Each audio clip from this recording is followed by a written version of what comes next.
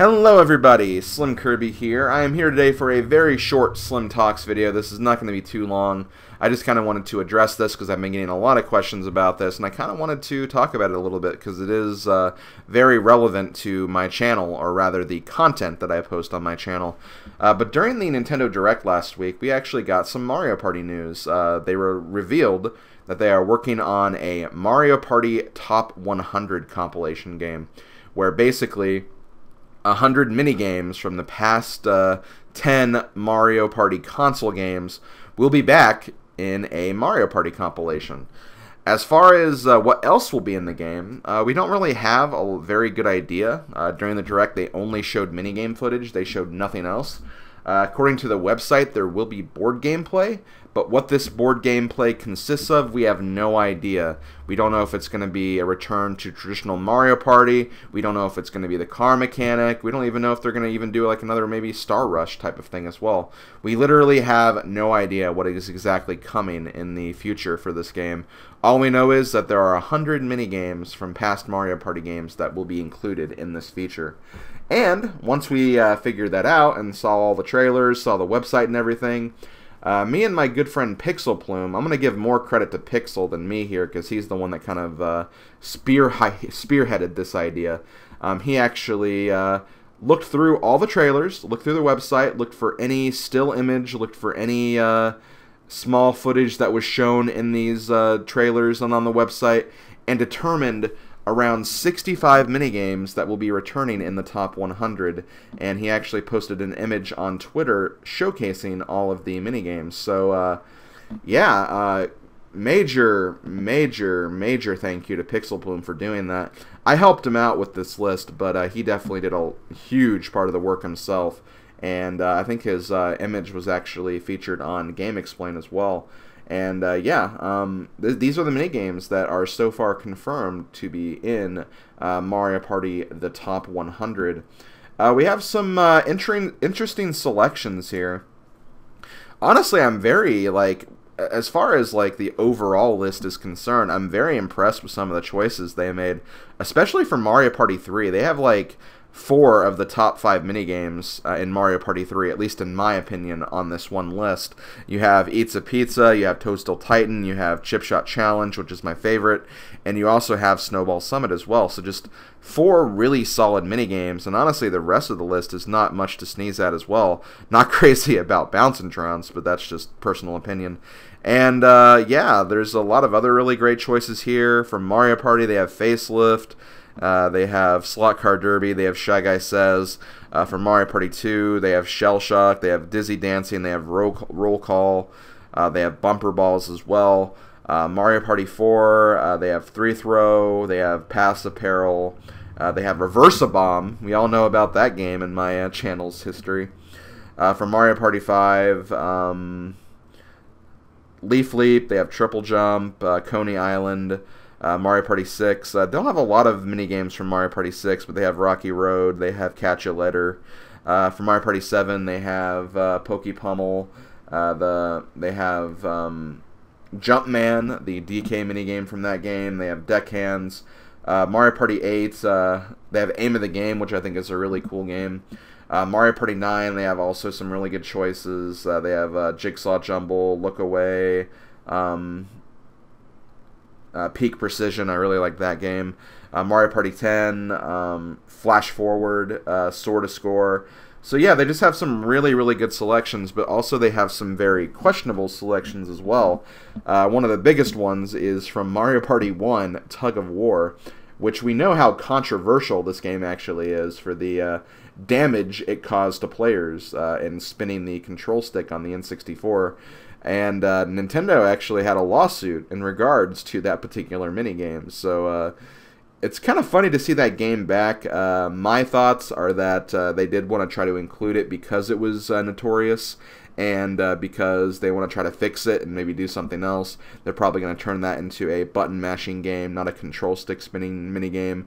Because um, if, they, if they do control stick spinning, uh, let's just say the uh, control stick on those 3DSs are not going to last very long. So, uh, gonna be interested to see how that'll happen. Uh, Mecha Marathon's actually back from Mario Party 2, which is weird.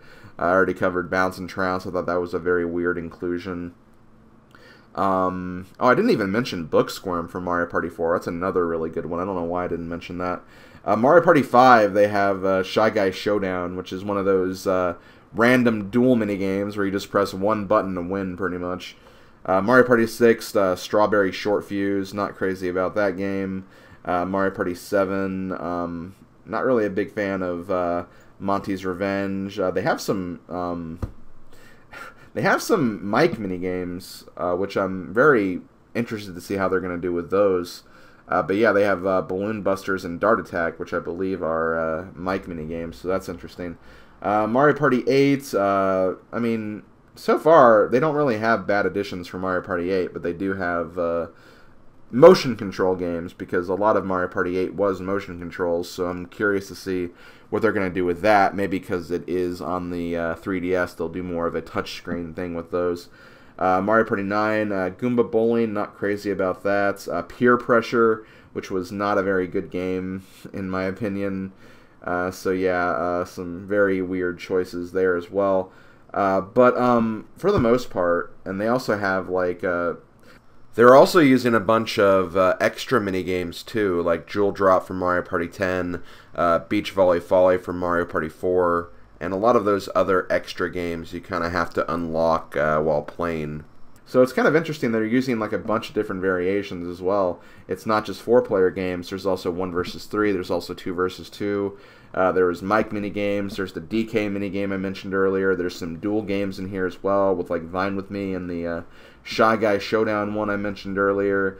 Uh, so yeah, they they're using a lot of different uh, variations of games as well. So uh, really curious to see how this is going to be in the final product and how exactly it's going to translate uh, to an actual game. Because like I said before, we don't really know what the main part of the gameplay is going to be. We just know it has mini games. I was actually getting kind of weird, uh, worried at first because I thought it was just going to be a mini game compilation. Like literally, you turn on the game and then just play mini games, and that's it. I kind of like with Mario Party having like a main like mode to play alongside those mini games. Uh, but again, we don't really know much about the game right now. We know there is going to be board game play, but we don't know how. So we're li- literally just going to have to wait and see what this game is going to be like. Uh, and as far as my opinion, you know, I am very interested in this game. I'm very optimistic because they are, you know, essentially doing what a lot of people have requested for a long time, going back to the roots of Mario Party and some have even suggested for the longest time doing like kind of a compilation of like all the Mario Party games in the past and using like boards and mini games from past Mario Party games. This is halfway to that, and it could be the full 100% if we knew more about the game. And you know there is still a possibility for that to happen, but I have a lot of concerns, and my main concerns are just that when they showed the game, they literally just showed the mini games. They showed nothing else, and it just makes me uh, really wonder, like, what exactly will be the main mode of play here? How exactly will these mini games be delivered to us? Will it just be a compilation, or will there be an even greater mode at play as well? Like, we literally just have no idea right now, and I'm really curious to see um, how that's going to play out uh, when the game actually comes out in uh, early November. So. Uh, we'll probably get some more information in October at some point. I'm sure there'll be uh, people getting their early copies of the game, and then we'll start seeing what the game actually has to offer.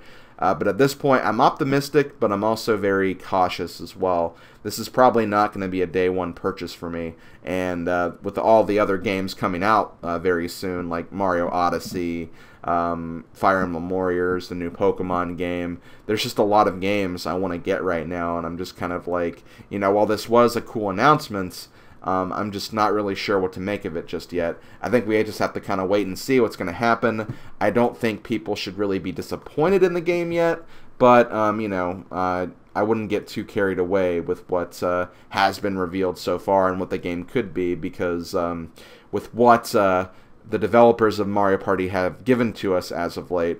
Which again, I do like Star Rush, and there are some aspects I do enjoy of Mario Party 10 and Island Tour.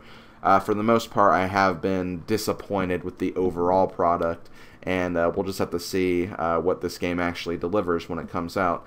But I don't know. Uh, we'll see what happens. Just kind of wanted to talk about it for a bit because my channel is uh, very mostly Mario Party centered, so um, you know, felt like it was a good time to kind of share my thoughts about that.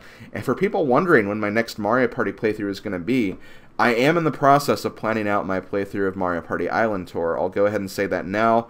I don't know when exactly it is going to be uh, because I'm focusing on a lot of other things right now, uh, but I would like to do it very, very soon. So, um, you know, just kind of stay tuned. Uh, very soon there will be a weekend project on that. It's not going to be the next one. Um, I think I'm going to probably do some uh, Advance Wars on the weekends for a bit. Uh, then I might actually go back to that Pokemon Stadium playthrough that I've been kind of holding off on. Uh, but maybe after that I'll finally uh, take a dip into Mario Party Island Tour so I can kind of finish up more of the Mario Party games. Uh, so yeah, that's all I really wanted to say. Uh, again, big thank you to PixlPlume for helping or not even just helping, for spearheading the list of the returning minigames. Seriously, I had a lot of fun with them actually uh, determining all of those and figuring out which games would be playable. Uh, but I'm going to go ahead and stop there. Uh, thanks for listening, and I'll catch you guys later. Later, folks.